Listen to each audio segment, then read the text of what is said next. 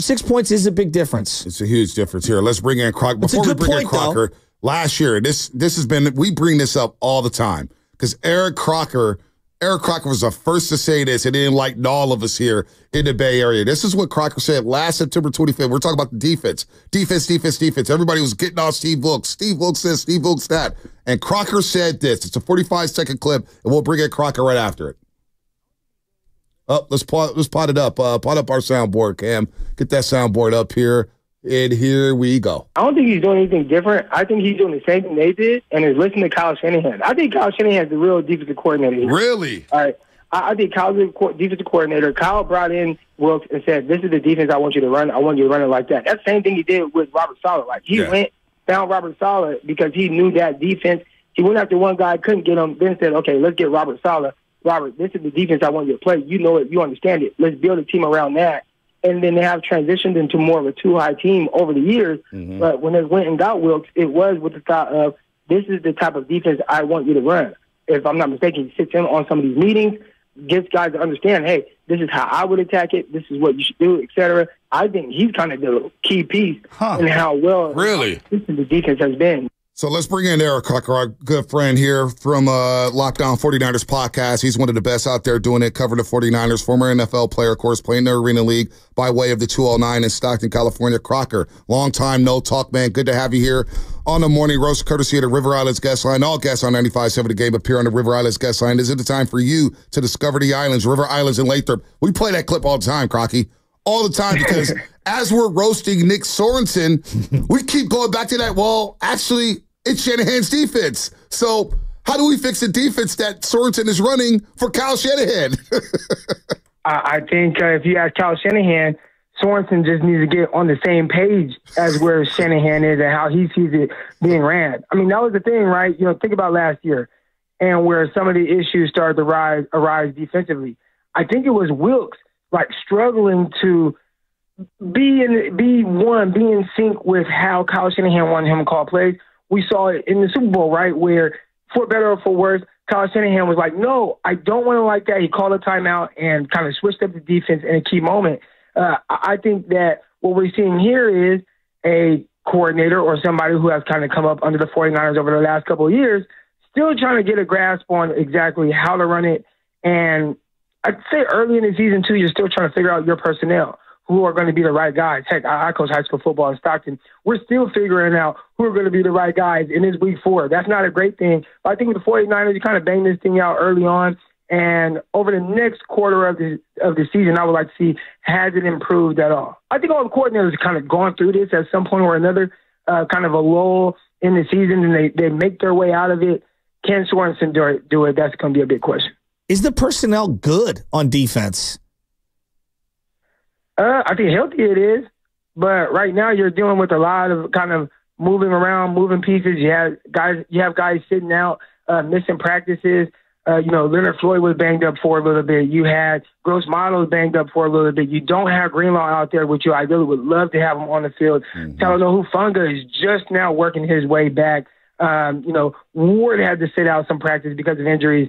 This team is really banged up on both sides of the ball. I, I think that heavy hitters on offense are overshadowing some of the guys that have been in and out of the lineup or in and out of practice for the defense. What are you seeing from Nick Bosa? Because everybody wants more from him. You know, I think Bosa that that's the standard, right? You know, we've been hearing a lot about uh, Brandon Aiyuk and these drops that he's having. Once you start making money, it's like, nah, you you got to be one thousand every time you step on the field. And I think for you know Nick Bosa, he does a good job. He's seeing a lot of attention, right? Like, who else are they going to give attention to on that defensive line? You know, there's nobody to really take the heat off him. So we're going to double him. We're going to chip, uh, chip him. You know, we're going to make sure that he doesn't get into his pass rush without feeling multiple bodies being thrown at him. And he's working. You know, I think he still does a decent job of moving uh, quarterbacks off of their spots. We saw him get multiple sacks against the uh, uh, Minnesota Vikings, but it's it's just a hard job when you're the guy, and, and that is the standard. You you watch the Dallas Cowboys. I mean, watch how many pass rushes. Uh, um, uh, what's the kid's name? Micah Parsons. Yeah. Watch how many pass rushes Micah Parsons gets without getting touched by multiple people. It doesn't happen. Mm. I mean, he's getting chipped, he's getting doubled. So you just when you're the guy like that, you just have to figure it out. No doubt, thirty-four million a year to one hundred twenty million dollars guaranteed. And you're right about Aiyuk. Every pass he gets thrown this year is going to be magnified, and if he drops it, oh my lord, it's going to be all hell's going to break loose. We're talking to Eric Crocker here on the River Islands guest line. So back to the defense here because you obviously played corner, and I don't think Charvarius Ward should have played last week. He was obviously compromised, and the Rams knew that, and they attacked him relentlessly in the second half.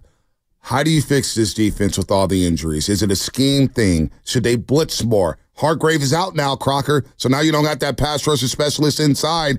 I don't know how you fill that void. Do you blitz more? Do you become more aggressive? How do you fix this defense here in the early going? I think in a in a in a perfect world, most coordinators would tell you that they would love to rush four and play coverage. Mm-hmm. You know that that's kind of the best way to do it. But if you can't get pre- uh, pressure with four, and you're not moving the quarterback off of his spot with four, and you have Nick Bosa getting double and triple teamed and everything they're doing him, you you are going to have to send some blitzes, or you're going to have to send some things that look like a blitz. Whether you you know send a linebacker, drop it in into coverage. Uh, you know, I saw uh, Nick Bosa do that last week. You might have to do more of that. Just give different looks, or confuse them more on the back end. You know, you think about the 49ers against the Minnesota Vikings but that was probably the most confused I've ever seen Brock Purdy. Yeah. And it wasn't that they had to blitz a ton, but as long as we mix up our looks and you don't know what you're seeing post snap, that's going to make the quarterback a little bit more hesitant to pull the trigger. And if you're more hesitant, what does that mean? More time to get to the quarterback. So, uh, you know, 49ers, maybe there's some things defensively that they could change up their looks. But are they being a little too simplistic? You know, are they just lining up and playing in the defense, or our guys line up showing single high, rolling to a single two, uh, I mean to a two high. You know, are the defensive backs on the outside press bailing? You know, are the linebackers lining up like they're going to blitz and then they're dropping out, then another guy comes? Are the things that they can do to confuse these uh, offenses a little bit and make them a little bit more hesitant to throw the ball? Because in the second half, especially the fourth quarter, Matthew Stafford was not hesitant with anything. He was on, he was dialed in it, he was playing in rhythm, and you do not want to let Matthew Stafford play in rhythm. Yeah, the amount of plays there, they bunched people and then did a rub route or a pick route off of that. I mean, it was just wide open, making 2 2 go across. And they, they, did a really good job of that. You brought up Brock Purdy. A year ago, if I asked the question to myself, the answer is clearly Kyle Shanahan. I'm not running either guy out of town. I'm just asking in terms of importance because it feels like there's a shifting of the tide going on right now. Who's more important to the 49ers today and for the rest of this year moving forward? Kyle Shanahan or Brock Purdy? Well, it's, it's always going to be Kyle Shanahan because one thing that Brock Purdy does extremely well, he runs the hell out of this system. And every time we watch the 49ers get into like a sticky situation, I don't think it's because Brock just can't figure things out offensively. I think it's because of the simplicity of this play calling. Mm. It's very simple. It's hey, we're gonna run, we're gonna do these things, and then their their run game. That's where they spend a lot of their time. That's where they make sure that it's hey, we're going to give these different looks and we've got these different blocks and we're going to do it like this. And they are very creative in the run game. They are not as creative in the passing game and with the concepts. So once a team gets a read on what the 49ers do, I think it throws everything off. Like Brock Purdy knows this system inside and out. He knows exactly where to go with the ball post snap. He plays in rhythm, like I said. I mean, this guy completes a very high completion uh, uh, percentage of his uh, passes that he attempts. Brock does an amazing job with that. And we just learned one thing as well. He can do it no matter who's out there. Yeah. It's kind of a little bit plug and play, whether it's Deebo, whether it's Aiyuk, whether it's Jauan Jennings. Heck, we saw Richie James one time go for nine catches yeah. for 170 yards and, and a touchdown, right? Yep. Like these guys, as long as the receiver knows where to be, Brock is going to know exactly how to find him and how to get him the ball. But once teams are like, wait, well, Kyle's doing this. Okay, you got this look, and they're on to that. I almost feels like Kyle Shanahan has no change up to that. Mm. Like, Kyle, what's your change up to the passing game? And it's almost like he doesn't prepare to be behind. He prepares that, hey, our system, our scheme is so sound that no matter who we're playing against, we should be good. We can run it. This is what they like to do. Boom, boom. But once they get a read on it, it gets him in a very tight, sticky situation. And I think it's on Kyle Shanahan to figure out how to adjust, not the quarterback. I think Brock does exactly what he's supposed to do very well. Once they get a beat on what Kyle's doing, that's when the 49ers find themselves in a little trouble. And it doesn't happen all the time, but We've seen it happen a couple of times now early on in this season. Yeah, we've seen it happen in big games as well. Eric Crocker here on the River Islands guest line. So as we asked the fans this other question too, because you, you're on X, and I'm sure you got your group chats with your friends, and you're doing the podcast with bruh, with Peacock, and you're talking to Niner fans left and right, and the Q rating for Shanahan is down right now. Like we go straight to Shanahan. He's such a polarizing figure, and I, we've been asking fans, "What's your biggest issue with Shanahan?" we don't think he should be fired. He's a hell of a coach. Like you said, his system works. He's won a lot of football games. But Croc, if I had to ask you, what is your biggest issue with Shanahan as a head coach? Is it that changeup or the lack of a changeup and lack of adjustment if he does get behind in the passing game? What's the biggest issue you have with Kyle Shanahan? Yeah, I think that there could be a little bit more creativity in the passing game. Now, I, have kind of on X was going back and forth with JT O'Sullivan a little bit, and you know he's great understanding the X's and O's and the offensive side of things. And he says, hey, these office coordinators, they're going to spend a whole lot of time on this or on this. There are some teams that spend more time on having a more expansive passing game and more difficult concepts. And those teams maybe aren't as creative in the run game.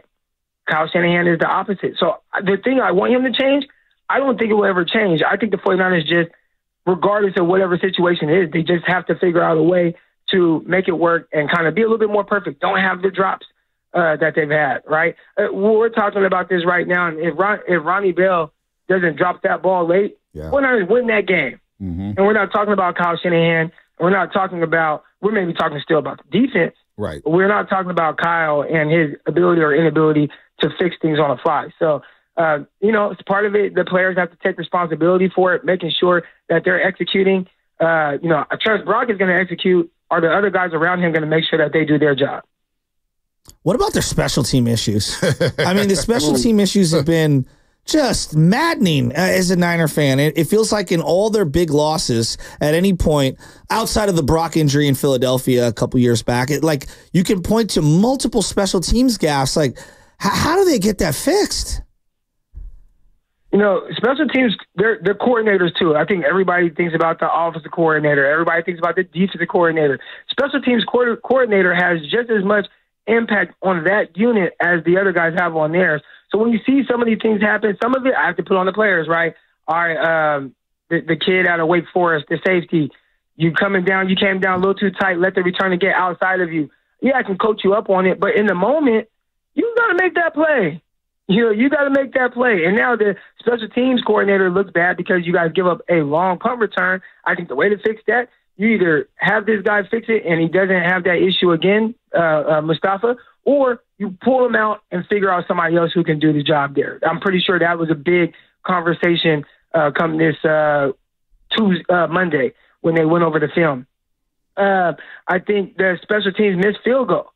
I don't know what the coordinator can do about that. Right. Like Moody, you were six for six week one. You're, you're making your field goals, you know, week two, whatever you attempt, and then you miss it with the game on the line. Like the coordinator can't do anything right. about that. Like you got to make your field goal kick. But when we talk about the special teams unit, we're going to lump the coordinator into that missed field goal as if it's his fault. It's not his fault. It's Moody's fault. So you just have to make it and hold them accountable. And I think that's the one thing he can do. Now we're seeing consistent big returns. 49ers gunners not getting down there. Uh, maybe they're, you know, they're not punting to the right side of the field. I'd say what I will put on him. Why did you kick it straight down the middle of the field when the the Rams had no timeouts left mm. with like under a minute left? Like now, you want to put something on him that allowed the big return? It would be that because that's his call. We're gonna go strong left. We're gonna go strong right. That's on the special teams coordinator. He tells them where to punt and they punted it right down the middle of the field. So I will put that on him, and I'm pretty sure Kyle Shanahan will hold him accountable for that decision as well. And if you see it happen again, you probably find a new coordinator on the 49ers next next season. Croc, last one for you here. We appreciate the time this morning. You're on fire right now. Christian McCaffrey just went over to Germany. Achilles tendonitis. Shasky and I, we saw the Achilles pop up on the injury report. We're like, uh-oh. Then he misses the Jets game, and I was led to believe, hey, if they get anything from McCaffrey this season, it's a bonus. I don't expect anything from him off that Achilles tendonitis. We know what Achilles injuries mean. How do you view this injury? You've been in the game, you've been around guys who've torn Achilles or whatnot. What is he dealing with right now? Uh, you know, the crazy thing is, uh, Peacock and I on Locked on 49ers, we were talking about it prior to knowing that it was Achilles tendonitis. I'm actually dealing with Achilles tendonitis now. Now, I don't have around the clock uh, rehab, you know, like Christian McCaffrey's able to have. I'm not flying to Germany to get this, uh, you know, procedure done that, that he's getting done. I know another guy who did, uh, well, I don't know him personally, but RIP Kobe Bryant, the late great, mm-hmm. he went there to get that uh, treatment done on his knee. So clearly this is something that's going to help expedite this injury situation. I know for me, the Achilles tendonitis that I'm dealing with, again, I don't have around the clock uh, rehab going on and all these NFL trainers poking at me, but it it hurts at different times. It hurts, uh, you know. Sometimes I'm fine. I can go run six miles right now, and for the first half of the mile, I feel it a little bit, and then for the next, you know, five and a half miles, I'm pretty good. Might be a little bit sore later on, mm-hmm. uh, you know, but you try to make sure you stretch, try to make sure you do the right things. I know the doctor told me, Croc, the only way to fix this and heal this is to stay off of it. And I said, stay off of it. Like, man, I coach high school football. Right. I'm trying to run this little uh, Golden Gate Bridge marathon thing. like, there's no way I can stay off of this this Achilles. But that's the only way for me to heal it. I think for Christian McCaffrey, they probably told him the same thing. You got to stay off of it, or you're going to end up in the boot. You got to let it heal. And he's like, nah, I got to figure something else out. Let me fly to Germany and see if they can help. So it doesn't sound good. Anytime you're dealing with something that's an Achilles injury, it always leads to something else. We've seen in the Bay Area, right? Yeah. Kevin Durant, yep. he was having calf issues. And the next thing you know, boom, we're watching the finals and that thing ruptures, right? Did he come back too soon? Did somebody tell him to stay off of it and it wouldn't happen? I think Christian McCaffrey is probably having those same conversations. Croc, Always good to have you on, man. You're always spitting wisdom. Our audience loves you, man. Keep up the great work. Where, where are you coaching in Stockton again? You're not at St. Mary's, are you? No, I'm not at St. Mary's, oh. man. They're the uh, they're the evil cousins over there. Uh, I, am at Edison High School. Okay, all right, all right. All right, yeah. I was gonna I was gonna brag about the De La Salle win, but you're good. You're good in the hood, man. You're good in the hood. I, I think they lost the De La Salle. Yeah, they, they lost last by week. three. Yeah, yeah, last okay, week, yeah. last Friday night. Yeah, yeah. I thought you were coaching over there, but no, nah, you're doing a great job, man. Locked on 49ers podcast with Brian Peacock. You guys do a great job, man. Croc, always always thank you for the time, brother. Good stuff. All right, thanks. Hey, go Lakers. Y'all see the shirt? Yeah, nah, I was going to comment on that. We, we were going to blur that out when we post this video out later, man. Come on, man. Get out of here. Take, a hike with that Lakers shirt.